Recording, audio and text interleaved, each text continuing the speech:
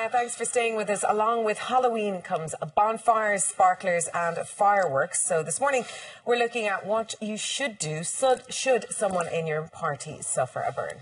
GP Dr. Brian Higgins has joined us. You hot footed all the way from Galway this morning. Good You morning. did. Wow. Good morning, guys. Um, Morning.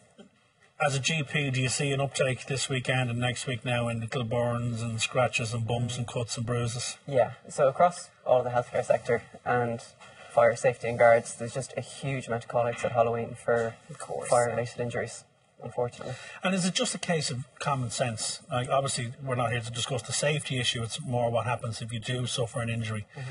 But just use the head, isn't it? It's used head a little bit, but there's sometimes where people can get caught out, and it's not so much common sense, it's where people think they're safe and they're Yeah, not. true. And that's just a little bit about fire prevention. How can you do that? Because obviously, last night I was putting the dog, and the dogs get very scared. Animals get very scared over this particular period. But when you're, you know, releasing fireworks or you're meddling with them, how do you prevent and, and be safe? Well, see, the thing is, fireworks around are illegal, and they're Mm. illegal for a reason. A really common injury that we, that we seen in the hospital, and I was speaking to a plastic surgeon in Cork yesterday, actually, who just um, just about these sort of injuries, is unexploded fireworks. Are so dangerous. Right, because people just say, "Oh, they didn't go off," they grab it, And then- then bang, and you know they will lose some fingers, and that's like, incredibly common. But Um, in terms of that, then, Brian, if somebody does suffer, if they pick up uh, a firework and it does go off in the hand and we've got a burnt hand, what's the first thing we need to do? Okay, so when it comes to burns, fireworks, anything affecting the hands, just go straight to the hospital. Um, unless it's a very light burn, something like a sun that almost looks like sunburn. If there's any blistering uh, and it affects the hands, straight to the hospital. Before you do that, call the ambulance, or if, if you're close, drive yourself. The first thing you need to do though is remove the source of heat. So when that's burned, the skin is still very hot, so there's more damage being done. So you need to cool it.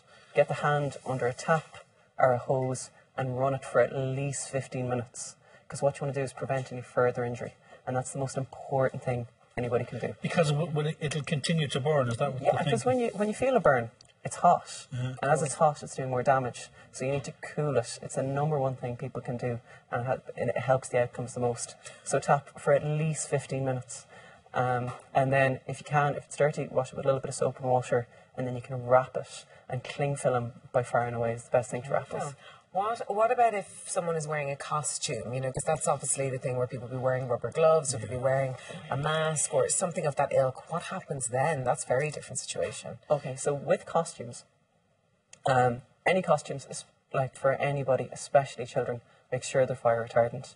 Any synthetic material, almost every synthetic material, is flammable.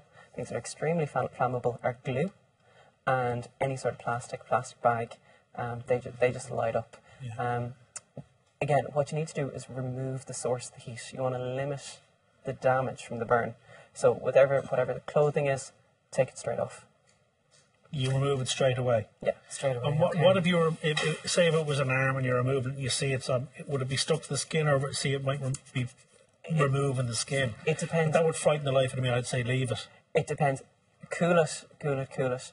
Um, again, we were speaking about this is this is why I ran this rang the surgeon yesterday, and the advice was just remove it. Um, sometimes if it's very melted into the skin, I believe you you, you, you shouldn't. Again, I need to clarify on Yeah, that. yeah. But for the vast majority of situations, and if in any doubt, just remove it and get water off the burn. What about any um, paracetamol or anything like that to take with it? I mean, is that a no go? Oh, no, God. Yeah, They're- some they're- people are in severe chronic They're incredibly pain. Uh, it's an incredible, incredibly painful. So get pain relief in quickly. Going back to something you said earlier on about wrapping it in cling film, my temptation would be uh, not so much. In fact, I had a bad burn a couple of weeks ago. Didn't put anything on it, but I would be tempted to. There's sprays, there's creams, and then wrap it. Or do you just wrap it as it is, or would you put some Burneze on it or some sort of ointment? So it depends on the burn. Okay. For a light burn, if it's just like if it's just like sunburn, redness, shiny the skin, quite painful, um, but no blistering. Um, which can do. The creams are fine then. Any moisturisers. What really hurts the burn is the movement of air over the skin. So what you find is those creams act like a barrier. So like Right, petroleum jelly, yeah. all those things. They just act like a barrier moisturiser. So they keep that vapour off the off the burn. So that'll that'll remove the pain. So for any of those light burns, just cream on them, cool them first off, whatever the burn is, cool it straight away, and then you can put cream on the light burns. What if we were to get not necessarily a burn, but like a spark? If something flew back or there was a kind of a, a reflection, what, how would that happen? How would you deal with that? Just little dots of sparks. Again, small, uh, they small little sparks. They don't have a lot of energy, so they they're te- they, they won't cause much It'll of a burn burn in quicker, general. yeah, yeah. Um, the issue there is with those um, synthetic costumes. yeah. They can just light up. And the other thing people have to be so incredibly careful with with sparks is around petrol. What you need to remember about petrol is it's not the petrol that catches on fire; it's, the, fuel. vapor. Yeah, yeah. So anytime petrol is being used, the air around it is effectively flammable.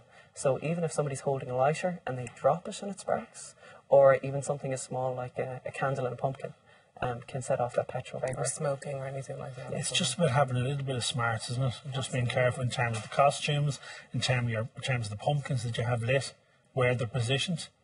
But that cling film tip now is one that I'll take with me. That's Yeah. the I- best thing to wrap it in is cling film. Yeah, I know. I know what it's clean. Just throw away the first bit, the, the first bit, because that's. Uh, but the rest of it will be fairly sterile. So just wrap it up. Okay, I was just going to say I got lots of rashes from all the uh, makeup, but of course we're going to talk about that another day.